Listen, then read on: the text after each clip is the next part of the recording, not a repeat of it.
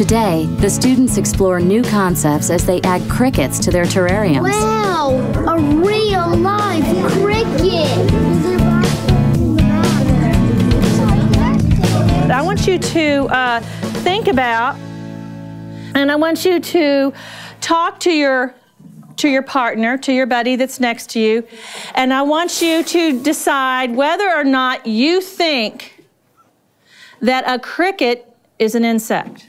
Okay, look, it's an insect because I want my It's an insect because it has six legs. Yeah, and it got antennas and uh oh, and a head, thorax, and an abdomen. They're going to be using process skills, which is part of the standards. And the process skills they'll be using are observing, they're going to be recording, they're going to be uh, classifying. It's a real live cricket. Experience with these process skills contributes towards students' mastery of the standards targeted in this lesson. Did you?